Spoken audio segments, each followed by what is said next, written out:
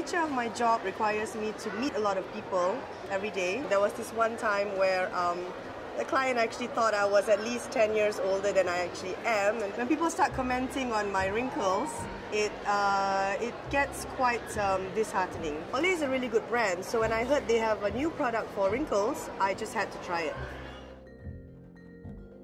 When I tried it in five minutes, my wrinkles seem to have smoothened out more. Um, even the texture, it's not oily and um, it absorbs easily. Thank you, Olay Regenerist, for making me look 10 years younger than I actually am.